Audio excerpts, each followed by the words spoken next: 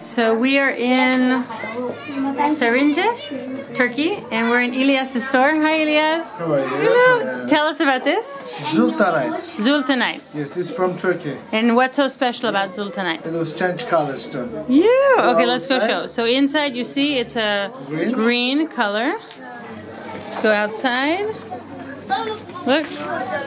Now it's like a brown. Look, and then we go into the sun. Hi. Hello. We're going to the sun and look. It's becoming, I don't know if you can see that shade, it's becoming like a pinkish. Very cool. Zultanite. Oh, can you see now? It's totally pink. Oh, the camera's not getting the pinkness. But you can see the drastic change from the pink. Look at this. You can check that piece of You can. Green. To green. That is so cool. Yes, thank you. Very cool. Yeah. He's cool. Now, Ilyas is Jewish, Jewish Turkish. His grandparents are from Israel.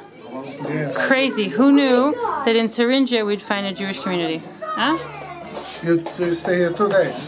Two nights. Two nights. Yes, yes. We are back to country. Look at the No, things he's got you- here.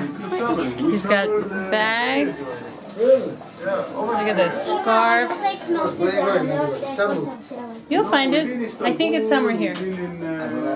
Elias gave Solai a present. Let me see your present. Oh, beautiful. Eh, get that out of the way. Beautiful. Solai, this is also gorgeous. This one. Yeah, I'm never taking this off. It's from Freya. Then you should get the exact same thing. Find it. We'll find it. Maybe it fell. We'll No, this the thing. I know, I know. But I think this is gorgeous for Freya. Oh, here it is. Itapech. We're working with. So I was getting for Freya. And Danya, show us the present Elias gave you.